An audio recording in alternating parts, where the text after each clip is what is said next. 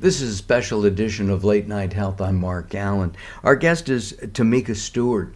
Uh, Tamika uh, is a seasoned strategic operations and development leader with over 17 years of experience in this, but uh, she's also uh, a social worker, and her her company works with small and large companies to help their employees be healthful. Would that be an accurate description, uh, Tamika? Yeah, I would say that's that's part of it. Definitely, I definitely help small. Most of my clients are small businesses, and that's really my, my target audience because historically they don't have access to some of the resources that your you know your Forbes and your DuPonts and some of your other larger companies have access to. And the reality is, small businesses make up over ninety percent of you know the businesses in this country. And most people are employed by a small business. So, with that, we have a huge group of people that aren't getting access to wellness programs or even talking about mental health, which is really important. Well, we have a pandemic right now, and you and I talked about this a little bit yesterday. It's it's kind of driving me nuts because I'm isolated. Um, I'm a very social person personally, right? Mm-hmm. And so, yes, I Zoom. Um, I've, I've Zoomed, I think, three times already today, mm-hmm. and will probably do more later today. But it's just not the same as sitting down with friends or even uh, clients and talking to them face to face. Is there a mental aspect of this pandemic that is affecting people not only here in the US, but worldwide. Yes, it is. I mean, it's truly an understatement in terms of is there a mental, you know, a mental health pandemic happening. We've got the regular pandemic and then we have the crisis of mental health right now. And it's interesting that you mentioned globally because, you know, some of the data that we're getting from Europe and other countries suggest that um, suicidality is going up, feelings of hopelessness is going up, and particularly here in the United States, you know, for entrepreneurs and small business owners, prior to the pandemic, and it was like maybe 45% of people were feeling stressed and maybe feeling like their mental health wasn't as optimal as they'd like to. Fast forward to November of 2020, that went to 71%. So we've got, yeah, 71%. Wow.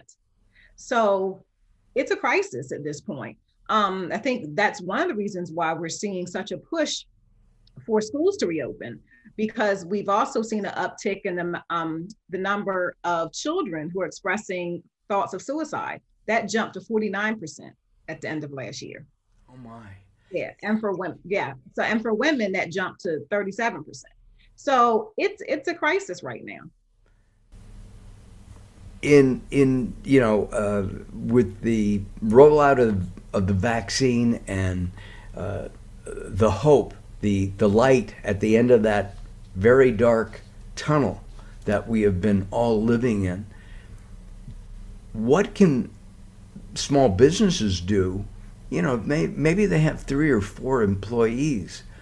What can they do to help not only with the mental health, but wellness in general? Because that's what you also uh, work with.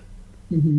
So one of the things that we tell people to start with with our um, with our programs is to really normalize mental health and overall wellness, right? So make it comfortable for you to talk to your team about how you're feeling. That is the most important, the number one way, really, to get across to your team that you care about their wellness and you want them to prioritize it. That's the number one thing is, you know, take the elephant out of the room and ask point blank, how are you feeling? Right? Not whether you have a cold or the sniffles, that's important too with our physical health, but how are you feeling emotionally? And really being able to have those tough conversations in a safe environment is important. Now, if you're a small business owner and everything that a, employee tells you confidentially, you know, you're sharing with the next person, well, then, you know, you're not going to be successful. You know, it's about creating a safe space where it can be confidential, where you can talk to your people about how they're feeling and what's happening. That is the most important thing. And it doesn't matter how big the company is. I mean, if you've got, as I said, three or four people working for you, or, or 20, that's still a small business. But you, you're, you're encouraging the owners or the bosses, the management, to have those one on one conversations? not just what not just one-on-one conversations one-on-one conversations are important but it's also important to create a framework around wellness right so that means in your monthly meetings in your team huddles any opportunities that you have to meet with your with your team you want to create an opportunity for them to talk about wellness either it's through icebreakers through promotions through um, partnering with local wellness companies such as um, you know we connected one of our clients to a zumba organization. So you talk about you know during this pandemic and they created a wellness wednesday where they did zumba in the evenings and everyone got on zoom and had a really great team building activity as well. So it's not just in one-on-one conversations but it's creating that messaging that goes across all levels within your organization that this is something that we prioritize the, the, what about things like uh, meditation? I'm uh, I'm noticing behind you you've got uh, some candles going, and um, and it, it just struck me that you probably meditate yourself. Do you teach meditation or suggest meditation as a form of of stress reduction? Yes, we do. Um, meditation and mindfulness has become much more of an accepted practice practice in Western, you know, in Western culture in the past five years.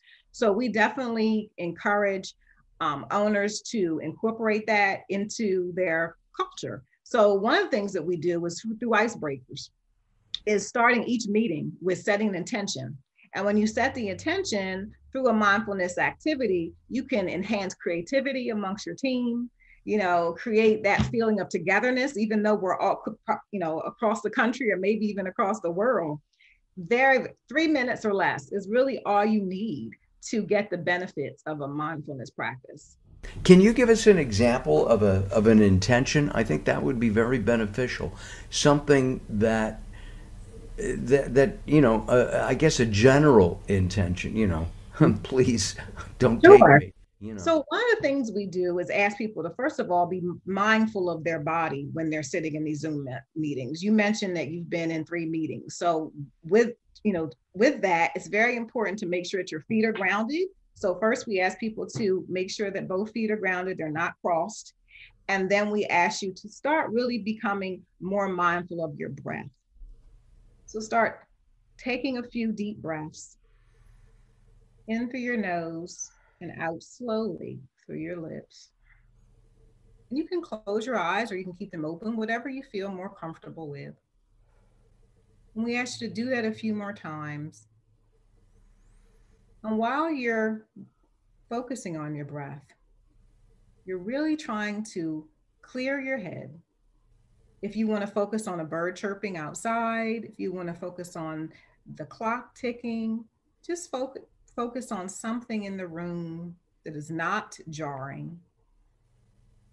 And just use that to relax and to think about what you have next planned for the rest of the day. So it's 10 o'clock your time. How do you want the rest of your morning to go? Set your intention. Think about your goals for the day. Imagine what completion looks like. Wow. That's very powerful. You need to be recording some audios for your clients. It is. It can be helpful. Um, you know, we've introduced it to some of our clients in the school setting and to some of our clients in who work in hospitals. It, it's very helpful, um, but it actually doesn't work for everyone. So I, I, always encourage people not to explore, you know, one stop, uh, cookie cutter, you know, resources. You want to do something that works for you. And if it doesn't work, that doesn't mean you're doing something wrong. Maybe there's just something else that you need to explore for your practice.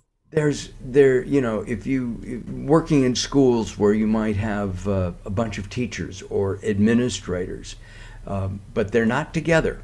They're, mm-hmm. you know, through Zoom or Skype or other uh, platforms that allow people to communicate. Can you do the the the setting the intention and and being mindful uh, through technology? Does that work? Yes, it does. Um, we've been very fortunate with Zoom, Google Classroom, and other forms of technology to even create Zen dens, where you create these virtual spaces where teachers can go in and they can actually walk through a two minute mindfulness um, exercise. Or they could listen to some jazz music, or we um, could help them talk through a difficult situation. So sometimes it means actually creating a space for teachers to be able to say, hey, look, uncle you know i've had enough i need a break and i need to really talk to someone. And the schools that really get it understand the need for having these programs in place because utilizing your commercial insurance is just not going to give you what you need. You know every you know the teachers at schools they all have insurance. They're not accessing you know um any mental health or wellness programs because they don't know about them. But when you're very intentional about what you do offer and create space during the school day for programs and for activities for teachers, that's when you start to see success. That's when you start to see teachers report feelings of support, engagement, and their productivity will go up. Stress is, is a killer. We know that, mm-hmm. right? Yeah. Being mindful, setting intentions, being cognizant of what's going on, I guess, not only in your personal life, but also in your work life. Do these help reduce that stress? It definitely can. So it, you know, as I mentioned earlier, it's up to the leader, the manager to normalize feelings of stress, normalize the fact that, hey, we're in the middle of a global pandemic and everything is not okay. But there's also a responsibility of the worker to say, look, if I'm not okay, I need to employ some new strategies so that I can improve my feelings of, of wellness. That includes, in, you know, embracing an exercise program, enhancing diet, but making sure that the school or whoever, you know, any of our clients will have resources in place for them to do those things. When that happens, when there's that synergy there from both parties saying, hey, this is something that we need to actively work on as our action go- actionable goals, then that's when we see improvement for sure. Have you noticed any difference between men and women in general? I mean, men, for example, uh, don't usually take care of their own health care. Their spouse, girlfriend, wives, uh, significant other of, of, would say, "Hey, you haven't been to the doctor lately. I made an appointment. Go." Uh, I, I don't know what the statistic is, but it's a lot. Uh. Most, you know, guys, we just like to take care of it ourselves. I think that I have noticed some gender differences. However, I think the most differences are based on age. So we'll have our Generation Z and our millennials, the guys are much more in tuned to having, you know, conversations about wellness and are more willing to uh, be proactive in scheduling appointments. However, as you start to go up the generational gap, you know, those generation Xers like myself um, and then and our baby boomers, yes, that's where we have to approach men a little bit more strategically. And we can't present it as a wellness program. Oftentimes we present it through sports or through, you know, through golf or through music or through other types of engagement activities to help promote wellness without them thinking about it intentionally, you know.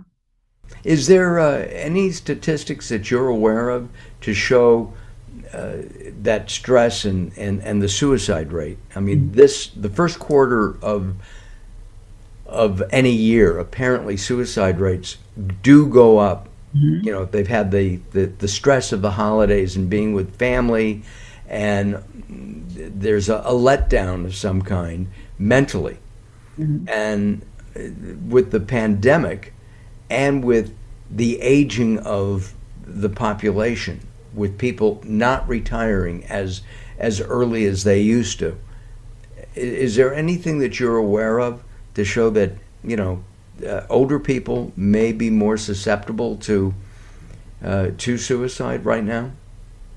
Yes, actually there are. So what we have learned is particularly those 75 and older have seen a huge jump in suicidality in the past few years. So that was even before the pandemic started, but since it has started, it's definitely increased. And it makes sense when you think about it. the death toll, most people at that age know someone who unfortunately has has died from COVID at this point. There's a ton of isolation and loneliness. And you know, we know that loneliness is highly correlated with heart disease, you know, depression, diabetes, all of those chronic illnesses that can shorten lifespan. So I think we've only tapped at the surface of the role of loneliness in an early death, particularly. And and yeah, being lonely. I mean, we're all lonely. I'm lonely. I mean, you know, you're in Delaware. I'm in California. Mm-hmm. Um, uh, there used to be a time when you'd be in my studio, yeah. or I would come out to to see you, and I'd love to do that.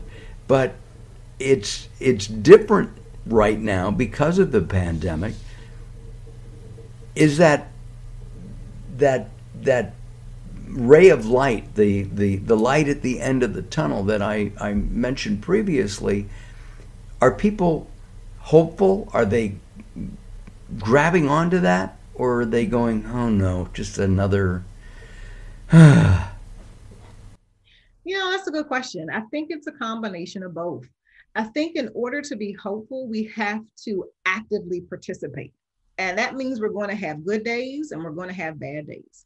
I think when the pandemic first started, we didn't know what to expect. And I don't know about you, but I was on Zoom happy hours and I was doing everything via Zoom. And then it got to the point, like in late summer, where I didn't want to do Zoom as much anymore. You know, there were fewer Zoom family meetings and fewer Zoom game nights. So I think now we're at a place where there is hope because there is a vaccine that is available now in some places, there are um, there's increased access to barbershops, restaurants, you know, although with some limitations. And some schools are even going hybrid. So those are the types of things that also can promote hope that we're going to get through this. But also, we have to make sure that we are exposing ourselves to things that make us feel well. You know, having a gratitude journal, thinking about all the things that you are happy about, that you are grateful for right now, also can make the difference between someone who is feeling very um, overwhelmed about what's happening right now versus someone who has hope. So it's about really being intentional and making a decision to choose hope every day.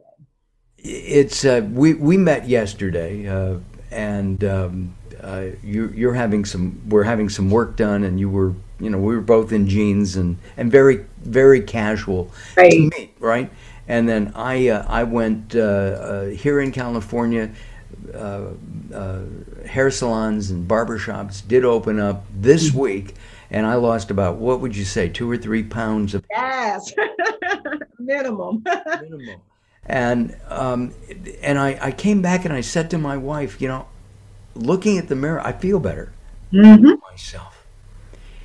Are people not taking care of themselves during this pandemic? I mean, you know, you're um, you're, you're the, the my wife would say you're for puts. You you know you've got makeup on, you put lipstick on for this show, and and we appreciate that. But does that make a person feel better? I mean, I know that when I get up in the morning I know a lot of people come down uh, in, in and and working out of their house. They're in pajamas all day, mm-hmm. and I can't do that. So I put on I put on jeans. Um, if it's hot, I don't wear socks. But you know, it's it, it's it just makes me feel like I'm going to work. Right. You know, we definitely discourage wearing pajamas because wearing pajamas will decrease productivity and also could potentially increase feelings of sadness and that hopelessness that we were talking about. So again, it comes back to if you want to choose hope, it's about creating a game plan. Okay, what are the things I'm going to do that I know make me feel better? And what we've learned is even if you are a business professional from the waist up and comfy cozy from the waist down, there's some benefits to that. So we encourage people to um, have, you know, embrace a business casual dress code at your office, encourage people to get dressed for work within reason, right? So that their productivity can go up and also it can enhance feelings of self worth.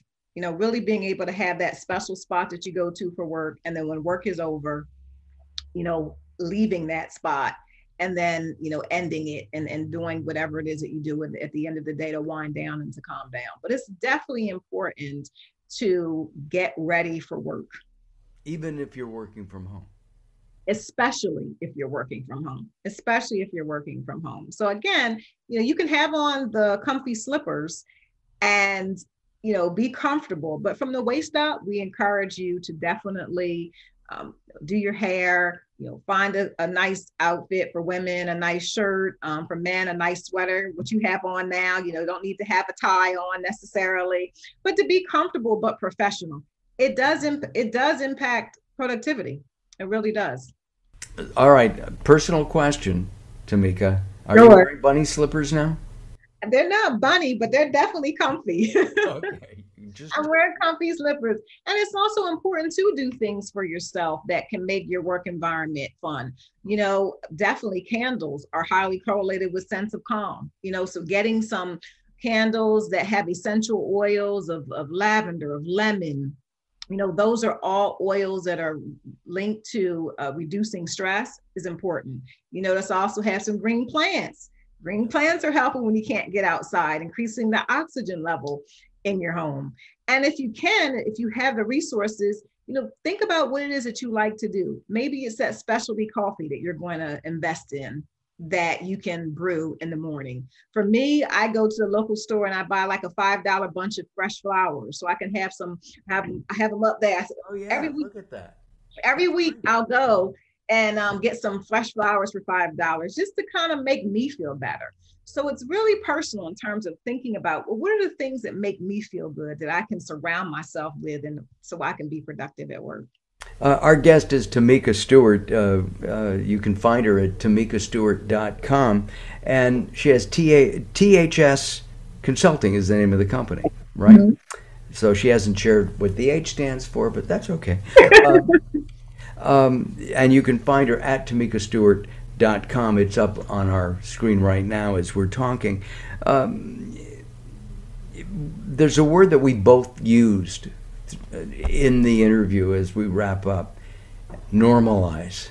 Mm. Okay? Every now and then I'll say, I want to go back to the way it was. Well, it's not going to, is it? And do we have to embrace the new normal? Yes, we do. I think part I'm of sorry. the I'm going to cry.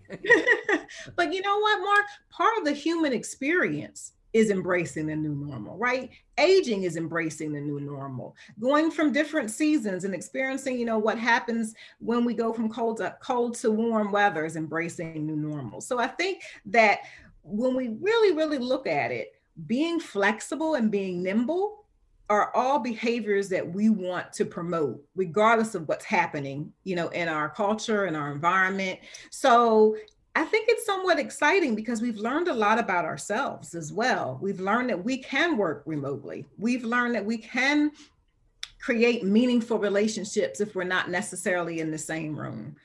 Um, you know parents have learned a great deal about multitasking We've learned what our triggers are so that we can be more mindful of how to calm ourselves down. So I think that for every challenge that there's been, because there has been many, and I don't want to um, glamorize that because we've experienced a lot of loss, a lot of death, a lot of people are not working. So there are some real, real challenges that we have, we are facing. But with that, we are resilient. And we were created to be resilient and we we are learning and evolving and, and gaining new skills and ways to cope every single day. We're going to be okay. Got it. We are, aren't we? Yeah. Uh, uh, uh we're going to do it together. Yes. How important is that? I mean, we can't, you know, the, the, the quote, no man is an island. Mm-hmm. Simon and Garfunkel also wrote about that uh, in in their music, and we have to do this together as a group. You know, white, black, green, purple, left, right, up, down. We have to do this together. Mm-hmm. We have more in common than we have differences. And that's really, if we can focus on those things that we have in common, then that will lead to so much more success in our families and our communities and, and even in our country. Just focusing on the things that we have in common and letting that be our guide so we can get through this this difficult time and, and be hopeful for what's ahead. Would you come back sometime? Some... I would love to come back sometime, Mark. Maybe the, maybe next time I can actually come to LA. oh, I like that. That would be great. Yes. Uh, Tamika Stewart's been our guest here on Late Night Health, the special edition of, of the program, and we've been talking about reducing stress. Uh, if you're a small business, uh, a medium sized business, or a big business, you really should check out Tamika's uh, website because there'll be some tips for you, and perhaps you can um, uh, engage with Tamika to, to help your employees and yourself as the boss uh, reduce stress and, and live through this uh, pandemic. Tamika, stay safe. Uh, look forward to our next conversation. I really do. Thank you. Thank you so uh, much. Thank you for having me. Take care. My pleasure. I'm Mark Alyn. This is Late Night Health. We'll be back very soon.